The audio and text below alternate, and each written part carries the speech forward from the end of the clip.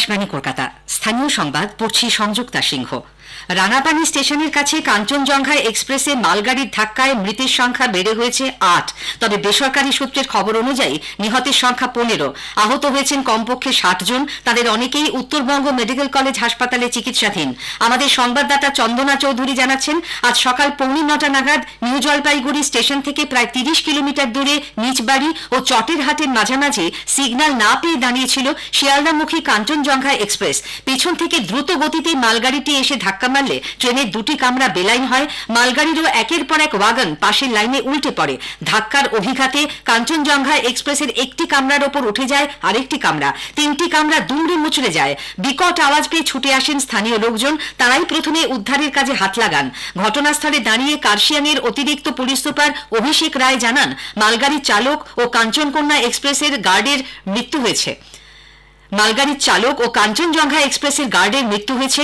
উদ্ধারের কাজ চালাচ্ছেন রেল, এনডিআরএফ, সেনা, বিএসএফ, পুলিশ ও দমকলের কর্মীরা। হতাহত যাত্রীদের ব্যাপারে খোঁজ খবর দিতে শিয়ালদা, হাওড়া, গুয়াহাটি, আলুয়াবাড়ি, ডালখোলা, নিউ বঙ্গাইগাঁও সহ বিভিন্ন স্টেশনে হেল্প ডেস্ক চালু করেছে পূর্ব ও উত্তর পূর্ব সীমান্ত রেল। ঘটনাস্থলে পৌঁছচ্ছেন রেলমন্ত্রী অশ্বিনী বৈষ্ণব এবং মুখ্যমন্ত্রী মমতা ব্যানার্জি। খবর পেয়ে সেখানে যান দার্জিলিংয়ের সাংসদ রাজু বিস্ত। মালগাড়ির চালক সিগন্যাল উপেক্ষা করার জন্যই এই দুর্ঘটনা বলে প্রাথমিকভাবে মনে করা হচ্ছে। রেল বোর্ডের প্রধান তথা সিইও জয়া ভার্মা সিনহা জানিয়েছেন, দুটি ট্রেনের মধ্যে সংঘর্ষ এড়াতে কবচ প্রযুক্তি আরও বেশি রেলপথে ব্যবহারের পরিকল্পনা রয়েছে তাঁদের। Prima ही लगता है human error but we will know more about it after after inquiry and we have to control human error also, जिसके लिए कि Kavach is the most important thing जो कि प्रोलिफरेट uh, करना है। ये एक मिशन मोड में बढ़ाया जा रहा है। ऑलरेडी हमारा करीब डेढ़ हज़ार किलोमीटर पे ये चल रहा है। पर पूरे भारतवर्ष में लगाने के लिए ग्रेजुअली इसको बिल्डअप करना है क्योंकि हमें जो ये सप्लाई भी करते हैं ये इक्विपमेंट वो लोगों को भी अपना प्रोडक्शन रैंप अप करना है। अभी जो तीन हज़ार किलोमीटर जो इस साल कंप्लीट हो जाएगा, उसमें बंगाल भी है, दिल्ली हावड़ा रूट है। ঘটনাস্থলের দৃশ্যে ওড়িশার বাহানাগায় গত বছর জুনে করমণ্ডল এক্সপ্রেসের ভয়াবহ দুর্ঘটনার কথা মনে পড়ে যাচ্ছে অনেকেরই।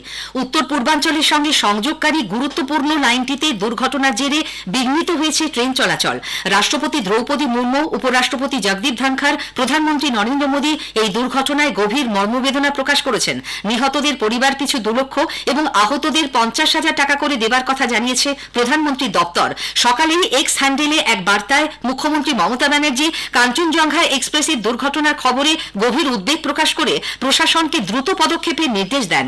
বিজেপির রাজ্য সভাপতি, কেন্দ্রীয় প্রতিমন্ত্রী সুকান্ত মজুমদারও কাঞ্চনজঙ্ঘা এক্সপ্রেস দুর্ঘটনায় শোক প্রকাশ করে বলেছেন, একই লাইনে দুটি ট্রেন কীভাবে চলে এলো তার তদন্ত হবে। রেলমন্ত্রীর পদত্যাগের যে দাবি তুলেছে তৃণমূল কংগ্রেস, তার জবাবে শ্রী মজুমদার বলেছেন, এটা রাজনীতি করার সময় নয়। কেন্দ্রীয় জাহাজ প্রতিমন্ত্রী শান্তনু ঠাকুরও শোক প্রকাশ করেছেন। ট্রেন দুর্ঘটনার জেরে আটকে পড়া যাত্রীদের সুবিধার্থে অতিরিক্ত বাস চালানোর সিদ্ধান্ত নিয়েছে উত্তরবঙ্গ রাষ্ট্রীয় পরিবহন নিগম।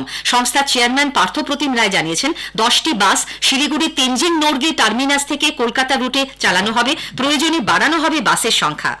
ভোট পরবর্তী হিংসার পরিস্থিতি খতিয়ে দেখতে কোচবিহারে পৌঁছেছে বিজেপির কেন্দ্রীয় প্রতিনিধি দল। চার সদস্যের দলটির নেতৃত্বে রয়েছেন ত্রিপুরার প্রাক্তন মুখ্যমন্ত্রী সাংসদ বিপ্লব কুমার দেব।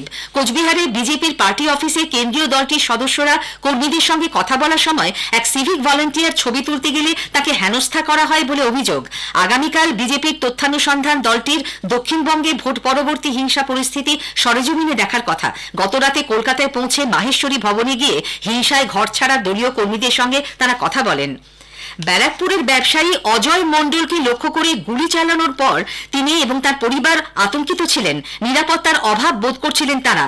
ব্যারাকপুর পুলিশ কমিশনারেটের কাছে লিখিতভাবে তাকে সুরক্ষা দেবার আবেদন জানিয়েছিলেন তিনি। সেই আবেদনের পরই আজ রাজ্য সরকারের তরফে তাকে সুরক্ষা দেওয়া হলো।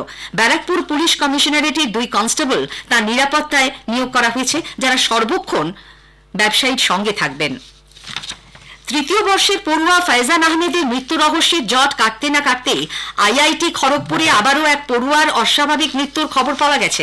দেবিকা পিল্লাই নামে বায়োটেকনোলজি অ্যান্ড বায়োকেমিক্যাল ইঞ্জিনিয়ারিং এর তৃতীয় বর্ষের ওই ছাত্রীর দেহ আজ সকালে সরোজিনী নাইডু হস্টেলের বাইরে ঝুলন্ত অবস্থায় পাওয়া যায়। সরোজিনী নাইডু হলেই থাকতেন কেরালার বাসিন্দা এই ছাত্রী। যথাযথ ধর্মীয় মর্যাদায় আজ রাজ্য জুড়ে পালিত হচ্ছে পবিত্র ঈদুল আজহা উৎসব। এই উপলক্ষে মসজিদ ঈদগাহগুলিতে বিশেষ নামাজের আয়োজন করা হয়। ভারত বাংলাদেশ আন্তর্জাতিক সীমান্তে গেদে ও দর্শনার জিরো পয়েন্টে বিএসএফ এর পক্ষ থেকে বিজিবির হাতে আজ মিষ্টি, শুকনো ফল ও চকোলেট তুলে দেওয়া হয়েছে। শুভেচ্ছা বিনিময় করেন দুই বাহিনীর আধিকারিক ও কর্মীরা। মালদা, মুর্শিদাবাদ সহ বিভিন্ন জেলা থেকেও বিপুল উৎসাহ উদ্দীপনায় কোরবানির ঈদ পালনের খবর এসেছে। দক্ষিণ পশ্চিম মৌসুমী বায়ু ঘূর্ণাবর্ত ও অক্ষরেখার প্রভাবে প্রবল বর্ষণে ভাসছে উত্তরবঙ্গ অন্যদিকে দক্ষিণবঙ্গ পুড়ছে একটানা খরতাপে। আজও তাপপ্রবাহের পূর্বাভাস রয়েছে পশ্চিম মেদিনীপুর, পুরুলিয়া ও পশ্চিম বর্ধমান জেলার দু একটি জায়গায়। সকালে কলকাতায় সর্বনিম্ন তাপমাত্রা রেকর্ড করা হয়েছে তিরিশ দশমিক দু ডিগ্রি সেলসিয়াস স্বাভাবিকের চেয়ে তিন ডিগ্রি বেশি। খবর শেষ হলো।